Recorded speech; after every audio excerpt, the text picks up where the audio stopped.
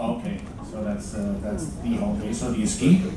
Uh, I used to ski a lot. We used to do ski tours.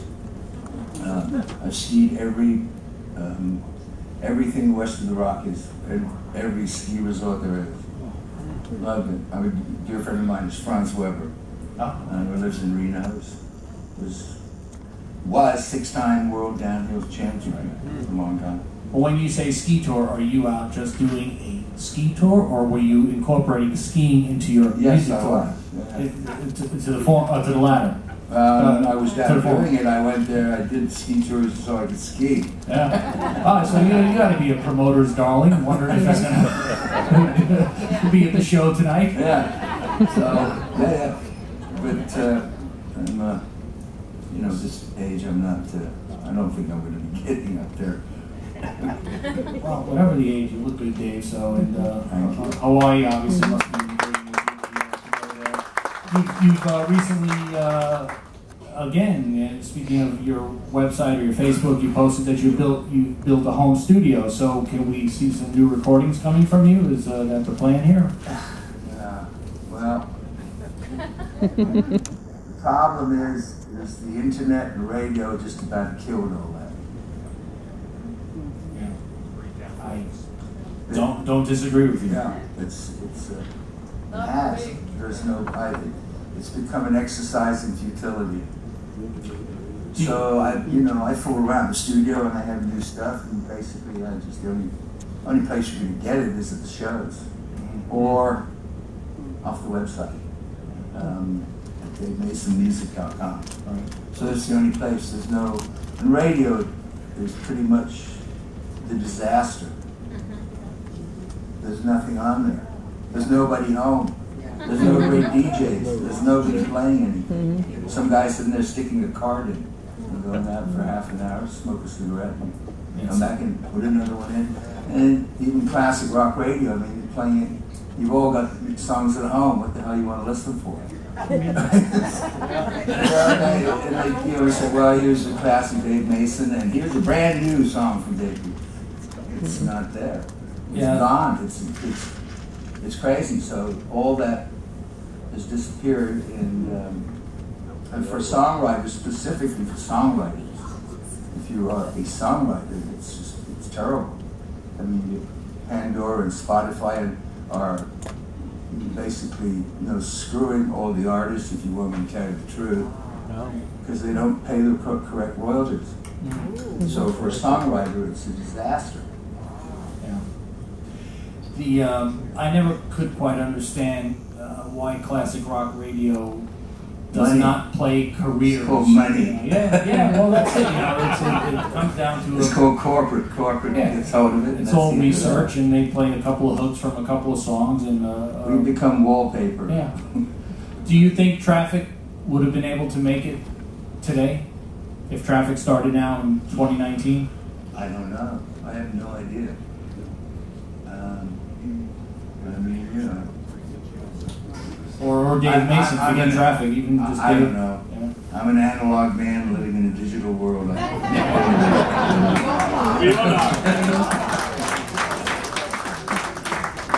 I think Joe Walsh already used that for an Did he? album. I didn't. I don't know. If, I didn't. I didn't know if you did or not. Uh, recently, uh, milestone anniversary, if you will, Electric Ladyland, and of course, we know that all along the Watchtower. And uh, you, you talk about that in your show. Yeah. Um, Graeme Edge, who's uh, the drummer with the Moody Blues, he talked about having a friendship with Hendrix and stuff, and how a lot of you guys did at that time. What was it um, that everybody kind of gravitated to, and that Jimi allowed everybody into his little universe within just a, such a short period of time? How did you first come in contact with him? Well,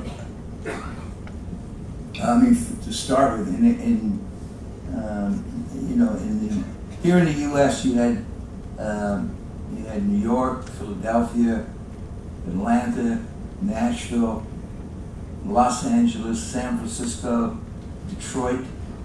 All of them had music scenes, and all of them had, had that music. England, everybody finished up in one place in London. Uh, that's where the studios were. so uh, there were a, there were a small number of some uh, sort of private clubs, Speakeasy, uh, Bag of Nails, mm-hmm. uh, Scotch of St. James, and um, I think I'm Jimi at Speakeasy was sitting by himself in a booth, and I just sat down, started talking to him. He was a, um, a, a traffic fan also, and just and plus we were all recording in the same studio, or pretty much. I mean, we were at Olympic. He was the same engineer, Eddie Kramer. Um, so it was not unusual for people to drop by each other's sessions. Um, you know, uh, and so I just became friends, and then I, um, after the first Traffic album, I actually I, I left then. Um, I was. Uh, I was uh, so. I mean, I just for me, I just I left because I couldn't deal with the success of it. It was just too much for me. You know, I just I'm basically a country boy. I grew up running around cornfields and stuff, building bows and arrows. Um, so it was just a little bit much for me, and that's where I got friendly with him. And, and, and obviously, there's not many um, I've been able to record with him, so uh, I got to record with him and did the. Uh, we were at a friend's, a friend of his house one afternoon, a party. A couple of other guys from different bands, band called The Pretty Things, um, and uh, everybody, of course, wanted to hear the new Bob Dylan album, John Wesley Harding, and uh, I guess something caught his ear. And we were in the studio about three days later. Few, I forget exactly how long. Um, and myself and Jimi and Mitch. There was no Noel Redding because there was a rift going on. And I, frankly, in that period, uh, we were talking about me taking Noel's place on bass. Oh, okay. Yeah, actually, Brian Jones was there. Brian, all knew, except Brian wasn't exactly there. He was there, he was there but he wasn't there. And, uh, um, and so we, we just laid down the track for Watchtower sitting, Jimi and I were sitting across from each other at the 12 string and Mitch and laid the track down for it. And then I also sang on Crosstown Traffic. And then there's a bunch of tracks too that, that um, I did with him playing bass and sitar. Um, but I have no idea what happened. Oh, really? Oh. So there could be discovered so, I, I guess. I don't know. I have no idea. Well, I'm always amazed that the guy was only around for X amount of years, but Very they short, continue to dig stuff up like he had a 50 year career or something. I, I can never quite understand. Well, so I think there's a lot of ideas and work stuff that he was kind of doing that he, did. Yeah, Kramer always said he was a studio hound. He just loved it, and you know. Yeah, well, he was so innovative. Yeah, what was it about him? I mean, you know, I, know that's a stupid question, but for, for, you guys, for you, for the fellow musicians, you know, his peers, what was it about him that just attracted you to him, and you know, that a you wanted to be friends, and b some of you were lucky enough to record and play with him. Same things you like, boy. He was unique. Yeah. You know, I mean, Eric's a great, you know, Clapton and is a great guitar player, but it, it's sort of, you know, he he just perfected perfected pretty much everybody's blues licks, you know. Jimi just took it further. Yeah.